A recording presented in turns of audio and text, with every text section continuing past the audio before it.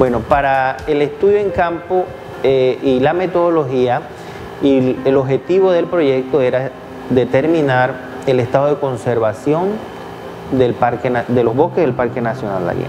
¿Cómo ideamos esa metodología? Bueno, establecíamos dos áreas, una que estaba dentro del parque y otra a 5 kilómetros que es fuera del parque, que es área de Pijibasal, área de eh, Pirre 1.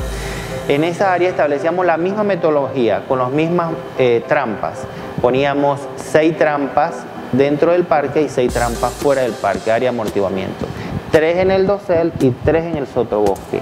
Tres en el dosel en el área de Pijibasal y tres en el sotobosque. Por, tres, eh, por seis días continuos colectando eh, las abejas con esas trampas donde se ponían atrayentes. En las trampas se le ponían aceite de eucalipto, que es un aceite muy oloroso, eucalipto, que atrae la mayor cantidad de especies, se ha demostrado aquí en Panamá. En las colectas manuales hacíamos unos eh, zigzag con hilos pabilo a través de unos árboles y en cada zigzag poníamos una mota de algodón con diferentes atrayentes, cinco atrayentes a veces, seis atrayentes.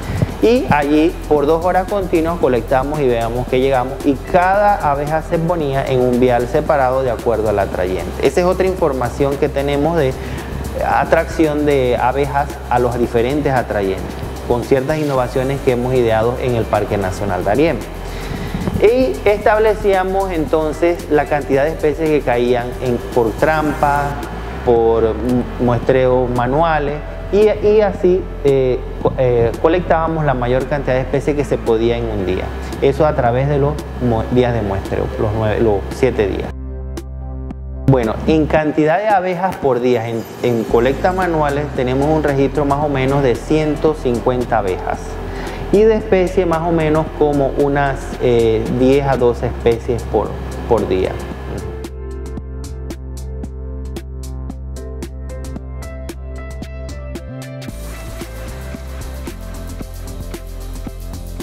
Sí, lo que me gustaría es que se ampliara el estudio a otras áreas del Parque Nacional Darién, que no sea nada más en, el Real, sino que también se vaya a otros lugares, hasta incluso si puede ser a un poco a elevaciones más elevadas y ver eh, eh, cambios de altitud en cuanto a la cantidad de especies, porque sé que va a aumentar y va a ser un, potencial muy alto de especies de patrón en el área del Parque Nacional Darién para un país porque le damos herramientas al gobierno, a las entidades de decir esto hay que protegerlo, esto hay que mantenerlo.